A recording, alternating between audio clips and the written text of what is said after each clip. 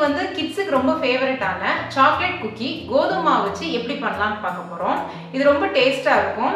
வாங்க எப்படி பண்ணலாம்னு பார்க்கலாம். அன்சால்டட் பட்டர் ஹண்ட்ரட் கிராம்ஸ் எடுத்துருக்கிறேன். பட்டர் வந்து ரூம் டெம்பரேச்சரில் இருக்கணும். இதில் வந்து பவுடர் சுகர் ஹாஃப் கப் சேர்க்குறேன். இது ரெண்டையும் ஃபஸ்ட் நல்லா ஒன்றா மிக்ஸ் பண்ணணும்.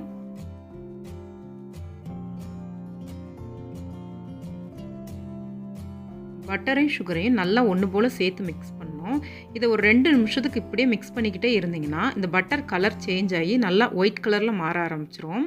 அந்த மாதிரி வரந்தடி அதை நல்லா மிக்ஸ் பண்ணி எடுத்துக்கணும்.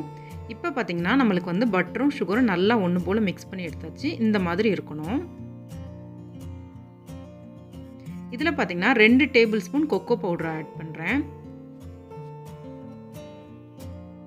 கால் ஸ்பூன் பேக்கிங் சோடா முக்கால் spoon baking powder.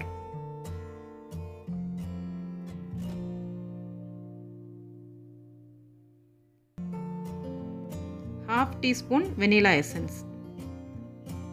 இது எல்லாத்தையும் ஒன்றா நல்லா மிக்ஸ் பண்ணி எடுத்துக்கலாம் இப்போ.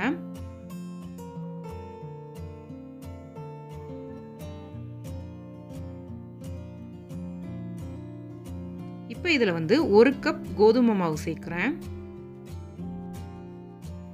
இது எல்லாத்தையும் நல்லா ஒன்று போல் கையில் மிக்ஸ் பண்ணி எடுத்துக்கலாம்.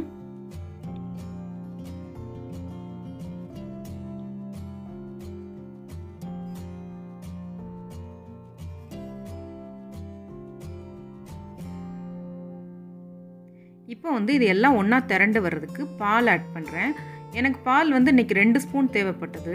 பால் வந்து கொஞ்சம் வித்தியாசப்படும். அவங்கவுங்க மாவை பொறுத்து. உங்களுக்கு குக்கி வந்து கிராக்கே இல்லாமல் சாஃப்டாக வேணும்னு விருப்பப்பட்டீங்கன்னா பால் கொஞ்சம் அதிகமாக ஆட் பண்ணி கொஞ்சம் ஸ்மூத்தாக வச்சுக்கலாம். இந்த மாதிரி பிசைஞ்சு எடுத்துக்கணும். இன்னும் கொஞ்சம் ஸ்மூத்தாக இருந்ததுன்னா உங்களுக்கு குக்கியில் வந்து கிராக் வராது. நான் இன்றைக்கி வந்து இந்த மாதிரி தான் செய்கிறேன் இது எல்லாத்தையுமே சின்ன சின்ன உருண்டைகளாக பிடிச்சி வச்சுக்கலாம்.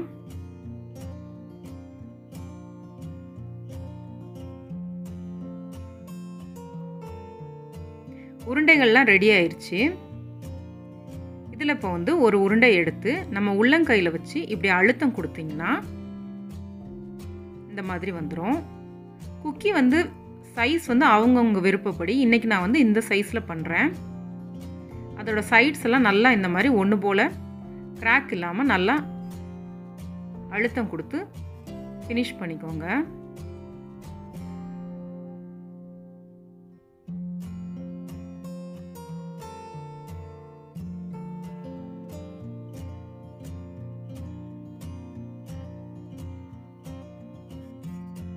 பேக்கிங் ட்ரேயில் கொஞ்சம் வெண்ணெய் தடவிட்டு அதுக்கு மேலே நம்ம ரெடி பண்ணி வச்சுருக்க குக்கீஸ்லாம் எடுத்து வச்சுக்கலாம்.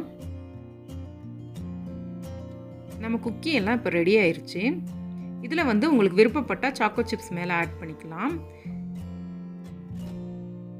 இதை வந்து இன்றைக்கி நான் அவனில் தான் பேக் பண்ண போகிறேன் ஒன் செவன்ட்டி டிகிரியில் டென் மினிட்ஸ் ப்ரீ ஹீட் பண்ணிவிட்டு டுவெண்ட்டிலேருந்து டுவெண்ட்டி ஃபைவ் மினிட்ஸ் இதை பேக் பண்ணிங்கன்னா சரியாக இருக்கும்.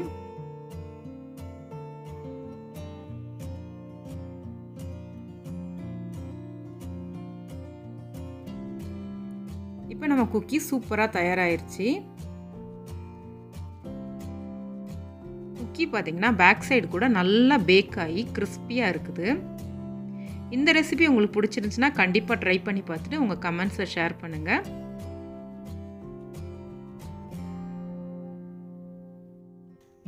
நன்றி வணக்கம்.